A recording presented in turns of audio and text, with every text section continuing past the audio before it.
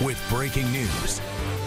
A former Babson College soccer player now charged in federal court with making racist threats against professional and collegiate athletes. Prosecutors say the 23-year-old Addison Choi was a big sports bettor. And those sports bets became the motivation for his threats and hate speech.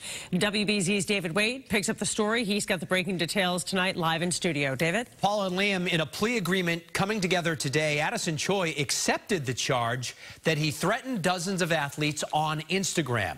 Now, Choi attended Babson College in Wellesley. He's from California.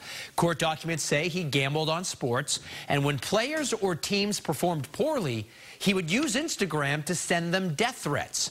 Between July and December of 2017, Choi allegedly posted threats to Instagram accounts of professional and college athletes as well as their families, with multiple threats to each account and targeted multiple people per threat. Choi faces a possible sentence now of five years in prison, restitution, and a fine of $250,000. He will appear in federal court in Boston at a later date. Liam? David Wade, thank you very much.